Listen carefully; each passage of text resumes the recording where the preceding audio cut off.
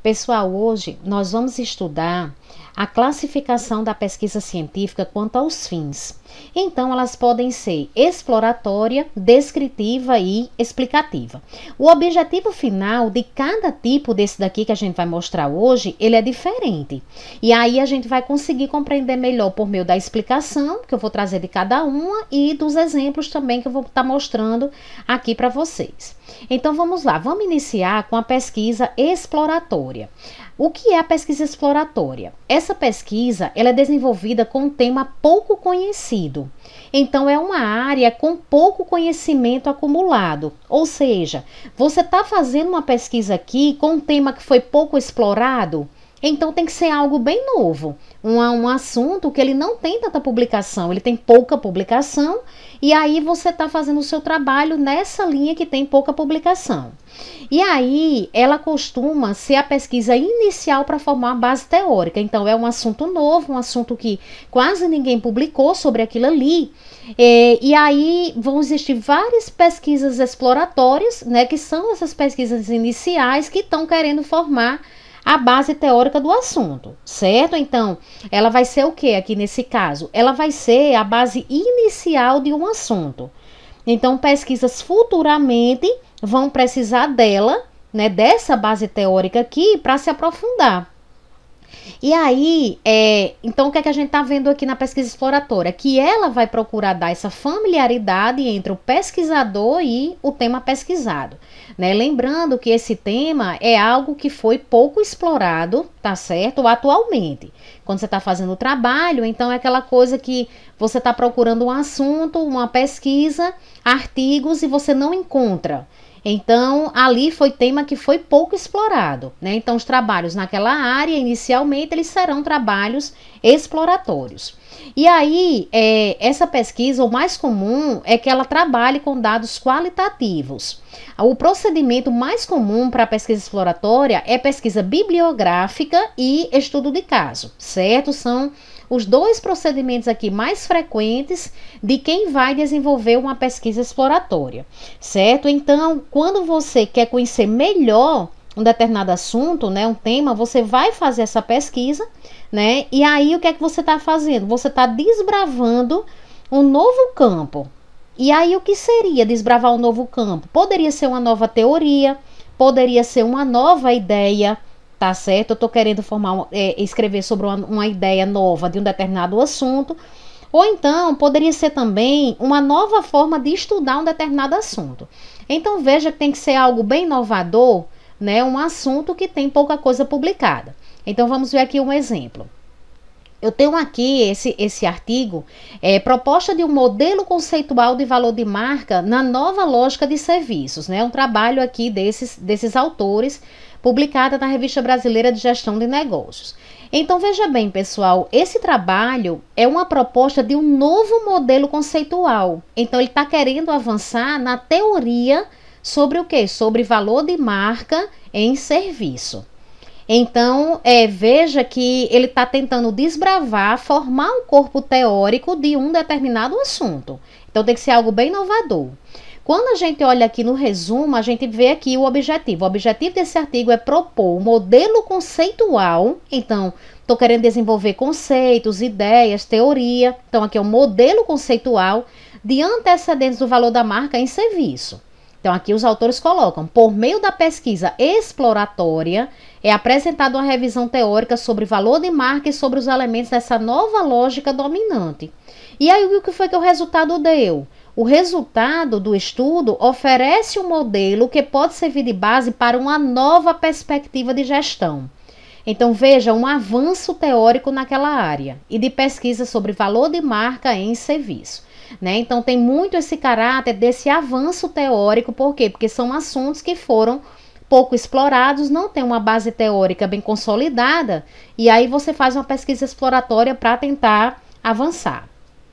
O segundo tipo que a gente tem é a pesquisa descritiva. Então, esse tipo aqui, ele já é bem comum nos trabalhos. Então, quando a gente vai analisar, por exemplo, artigo científico, é, em sua maioria, é, trabalho de conclusão de curso, monografia. Então, a maioria dos trabalhos tem essa, esse tipo aqui, né, de pesquisa descritiva. E aí a gente vai ver como é realmente que se faz. Então, a pesquisa descritiva é quando o campo ele já tem uma base teórica, ou seja, eu quero pesquisar de um assunto e quando eu procuro sobre aquele assunto já tem muita coisa publicada. Né? Só que esse campo, o campo, ele sempre precisa de mais informações.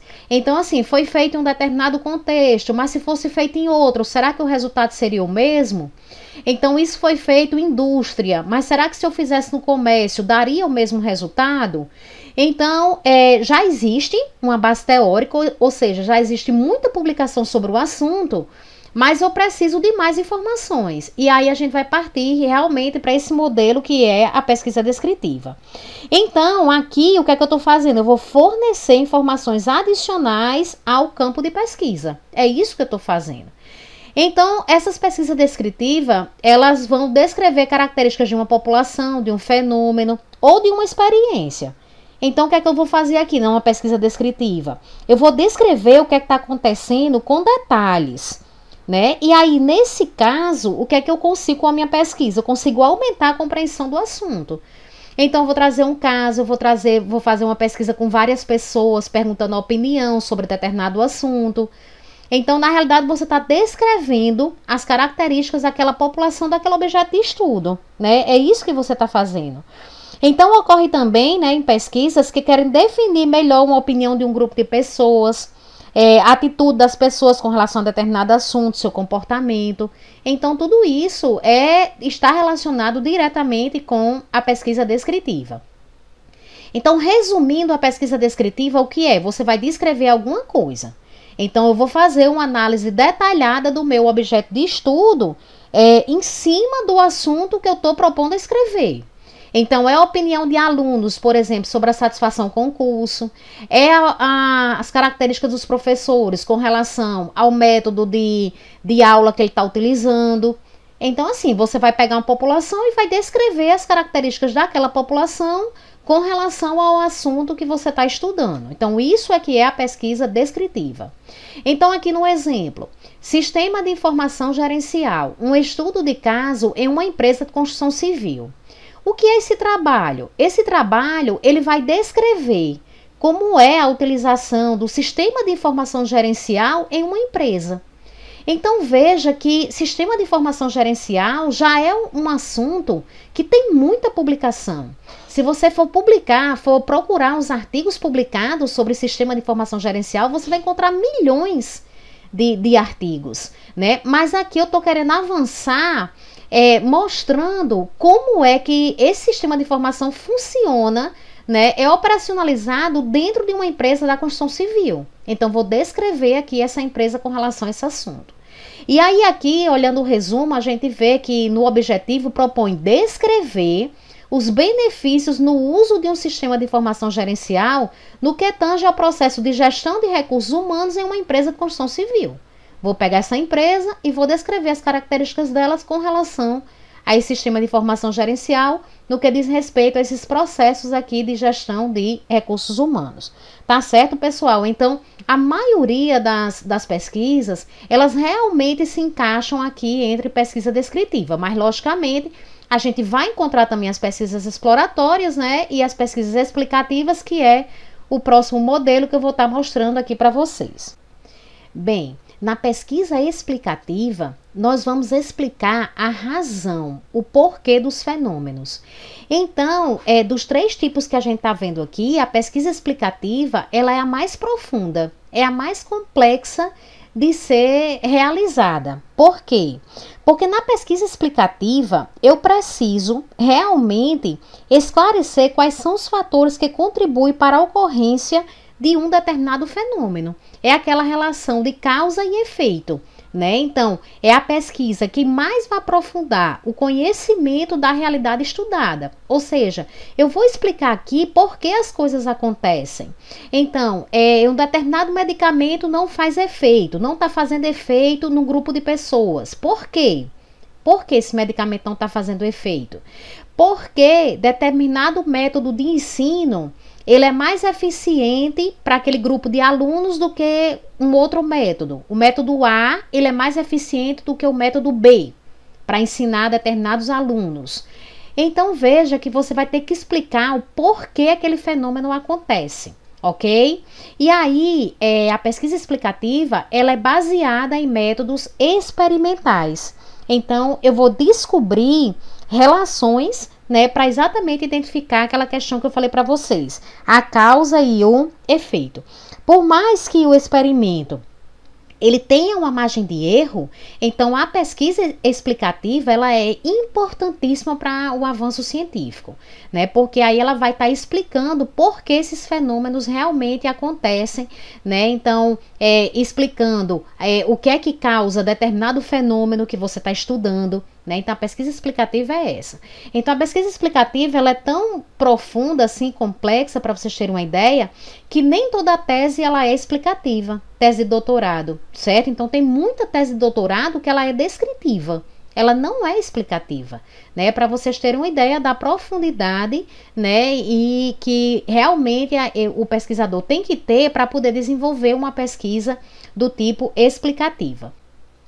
Então, a gente analisando aqui um resumo, o uso de laboratório remoto e realidade aumentada para apoiar a aprendizagem experiencial da, de física, a gente percebe que esse trabalho aqui é um trabalho é, explicativo. Por quê? Veja bem, o estudo tem como objetivo investigar se o uso de diferentes tipos de laboratório online, inserido em um conjunto de atividades em um ciclo de aprendizagem experiencial, pode contribuir para os processos de ensino e aprendizagem de conceitos de física.